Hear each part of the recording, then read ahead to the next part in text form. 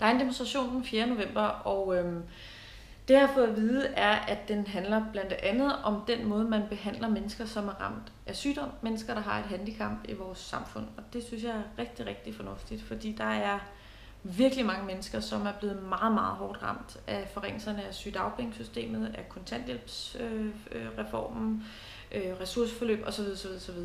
Vi har også oplevet forringelser af, af flexjob og muligheden for førtidspension. Og der er sådan en helt ekstrem mistænkeliggørelse af mennesker, som er ramt af sygdom. Der er sådan en idé om, at hvis bare vi tager pengene fra dem, så bliver de pludselig raske.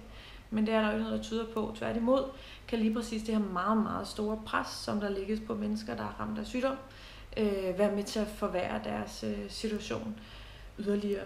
Og man må sige, for mig er det jo fuldstændig vildt, at man igen og igen og igen oplever, at dem, der skæres på, det er de mennesker i vores samfund, som har aller, aller mindst, samtidig med, at der bliver givet skattelettelser til mennesker, der tjener rigtig, rigtig mange penge i forvejen, til store virksomheder, som har rekordstore overskud osv.